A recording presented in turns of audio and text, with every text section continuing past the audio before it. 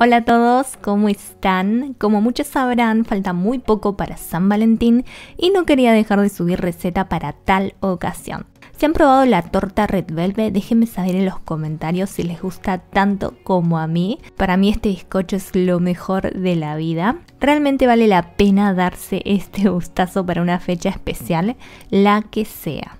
El bizcocho que les voy a enseñar hoy es tiernito, sabroso, suave. Lo delicioso que es no se compara con otro. A mí me encanta esta Red Velvet y me gustaría que le den una oportunidad porque estoy segura se van a enamorar también.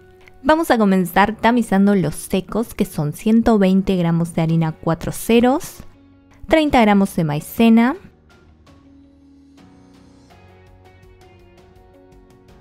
...8 gramos de cacao amargo,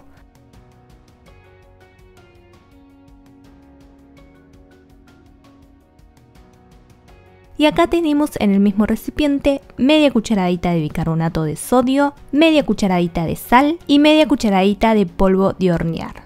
Tamizamos, mezclamos y reservamos. No olvides dejarme un me gusta que me ayuda un montón y solo toma unos segunditos. Por otro lado, colocamos en el bowl donde vamos a hacer toda la mezcla 60 gramos de manteca en punto pomada, bien blandita, 150 gramos de azúcar y batimos hasta integrar.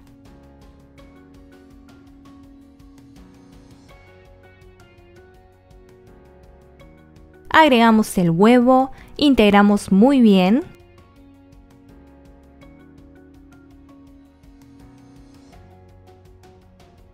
También agregamos media cucharadita de vinagre de alcohol, media cucharadita de esencia de vainilla, 60 mililitros de aceite vegetal, yo usé de girasol, y 125 mililitros de buttermilk que hice mezclando 125 mililitros de leche entera con una cucharadita de limón y dejé reposar unos 10 minutos. Ahí van a ver cómo se corta la leche. Usen una buena leche entera, ¿sí? Una vez bien integrados, agregamos los secos que tamizamos previamente Los incorporamos muy bien, recuerden pasar la espátula por alrededor y el fondo del bol para que se una todo. Por último agregamos una media cucharada aproximadamente de colorante rojo. Y te invito a suscribirte si aún no lo hiciste para seguir viendo más de mis recetas. Apretando el botoncito rojo de abajo que dice suscribirse, es gratis y así no te perdés ningún video.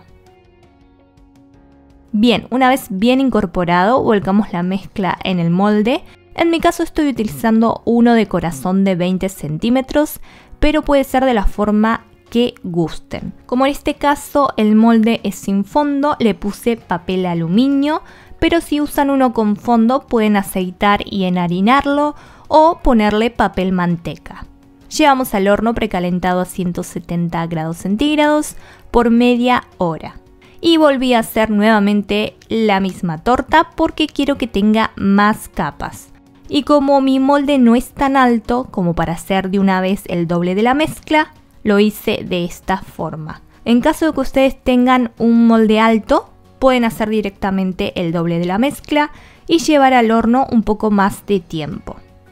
También si no quieren una torta alta y solo quieren una torta de dos capas, obviamente pueden hacer solamente una de estas. Bien, dejamos enfriar y desmoldamos. Y vamos a hacer un relleno de queso crema y chocolate blanco que le queda espectacular.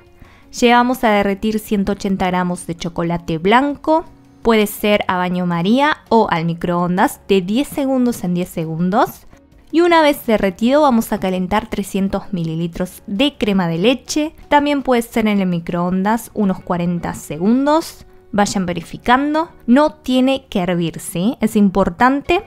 O también pueden hacerlo en una ollita directamente en la hornalla. Solo hasta calentar la crema de leche. La volcamos sobre el chocolate y mezclamos hasta que quede bien homogéneo.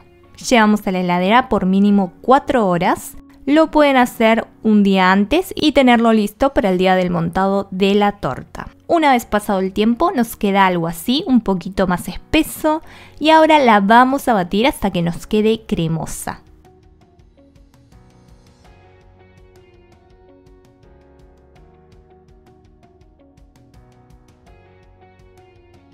Le agregamos 180 gramos de queso crema e integramos bien.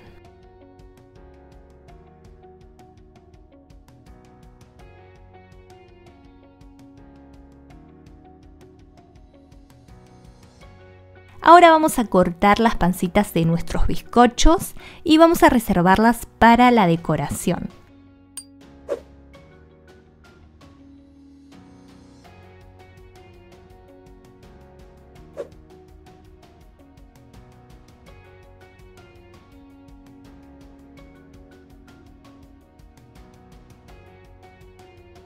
y luego los cortamos en dos capas Así que en total nos van a quedar cuatro capas.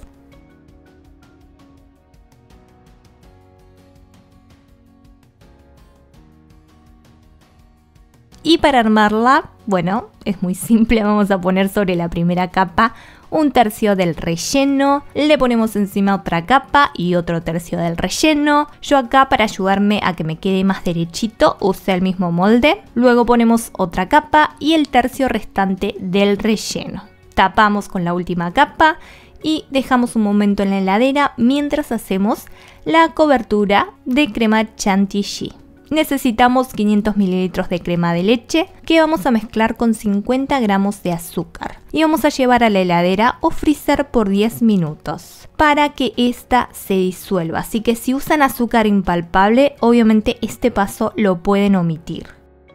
Vamos a batir hasta que nos quede en punto chantilly. Y vamos a agarrar unas cucharadas para poner en una manga con un pico rizado para la decoración. Reservamos. Y recuerdan las pancitas que guardamos, bueno, vamos a desmigarlas para usarlas de decoración. También es opcional desmigar unas galletitas de chocolate o si tienen algún pedazo de torta que les sobró de chocolate y también van a desmigarla. Ahora vamos a cubrir la torta con la crema chantilly Primero le doy una capa finita para pegar las miguitas. Y luego una capa más gruesa. Acá tómense su tiempo para dejarla lo mejor posible. Y ahora con la ayuda de una cucharita vamos a ir pegando las miguitas por todo el contorno de abajo de la torta.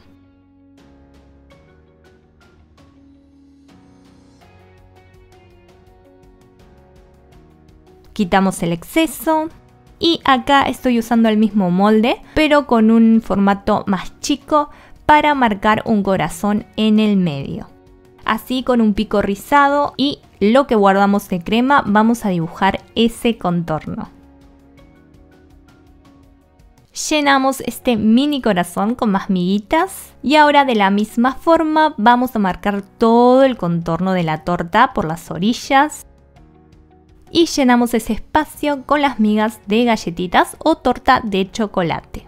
Y listo amigos, así finalizamos esta deliciosa torta. Espero que la disfruten porque está tremenda. Y si te gustó déjame un me gusta que me ayuda mucho.